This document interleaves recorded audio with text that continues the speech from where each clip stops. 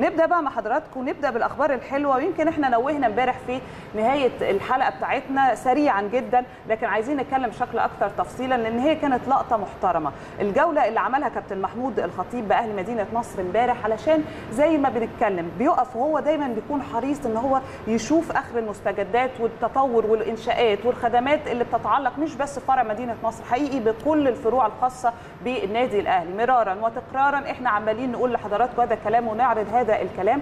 مجلس إدارة الأهلي فعلا فعلا والحق يقال بيشتغل في كل الملفات.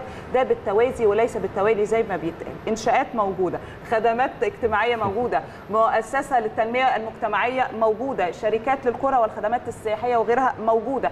يعني وبرضه هنتكلم عن فروع النادي المختلف. وضع حجر أساس استاد الأهلي برضه ده كان حدث مهم جدا. جراج مدينة نصر اللي كان بيهم كل عضو من سنين. كانت مشكلة يعني قديمة ولكن الحمد لله قدرت إن هي أو قدر المجلس إن هو يحلها. فتحية كبيرة جدا ومجهود رائع جدا لازم إن إحنا نتكلم فيه ولازم إن إحنا ننوه عنه. ف كانت جولة حلوة جدا يا كريم امبارح. وزي ما بيتقال كده هي مرحلة جديدة بكل المقاييس على كافة الأصعدة بيشهدها بإذن الله وهيشهدها النادي الأهلي.